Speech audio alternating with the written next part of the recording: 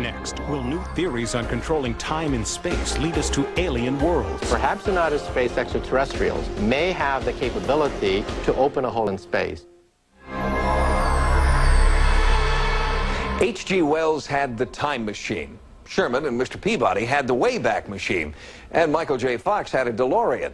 The fantasy of time travel is one of the most popular themes in science fiction. And now a tantalizing new theory suggests that time travel could someday be science fact.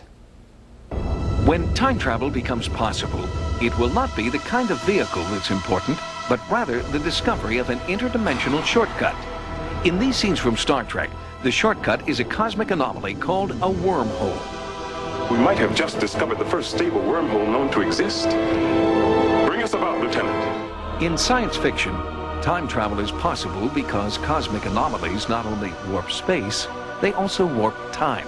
But does science support the existence of these interstellar superhighways? The average scientist says that the distances between stars are so great, four light years to the nearest star, that Star travel is simply impractical. It would take them hundreds of years to go between nearby star systems.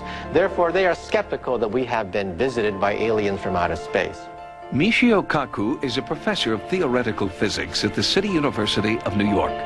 In his book Hyperspace, Kaku suggests that there is a mechanism capable of warping time. And Kaku does not rule out the possibility that another, more advanced civilization may have already found that mechanism the unified field that Einstein dreamt about.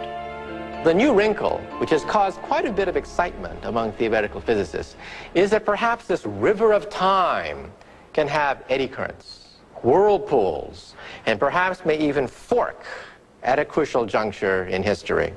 But where those forks and eddies are, no one knows. The cosmic highway isn't marked with signs saying, wormhole next right, or this way to ancient Egypt. At this point, just finding holes in space is more of a stumbling block than traveling through them. Perhaps in outer space extraterrestrials may have the capability, with a technology thousands of years beyond our own, to open a hole in space and to begin to manipulate the fabric of space and time. And that is precisely how Marc Davenport explains his belief that many UFO sightings are, in fact, extraterrestrial spacecraft. In Visitors from Time, Davenport describes hundreds of reported UFO sightings and alien abduction cases that he believes support his time travel theories.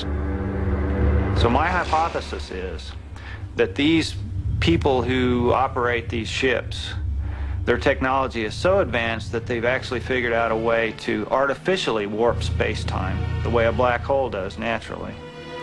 And if that's true, it could mean they could be coming here not only from other planets, but from other star systems, other galaxies, other dimensions that coexist with ours, parallel universes, even our own future or our own past. By collating and cross-referencing specifics from eyewitnesses, Davenport believes he has compelling evidence that many UFOs are actually time machines. We have the uh, occupants of these craft are continually telling people they're, they ask them questions like, what time is it? What is time? What is your time? What is age? What is a year? And they say, you, you are caught in time and we're not. Our time is different from yours. Time is distorted in the, in the vicinity of these craft and inside these craft. A lot of times people's watches will stop. We have people who say that their voices are distorted when they're near this craft, like when they breathe helium or something. So we, we have all sorts of indication that these things are in some kind of a field that warps space and time. And one day, according to Michio Kaku, science will catch up with science fiction, and we will create a time machine of our own. Most of my friends watch science fiction because they want to dream about what may be possible in the future.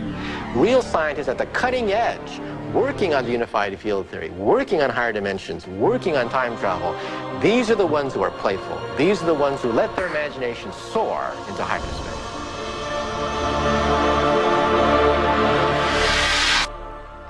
Not all scientists agree with Michio Kaku's hyperspace theory. Eminent physicist Stephen Hawking has stated that time travel is impossible because we've never been visited by any tourists from the future. Or have we?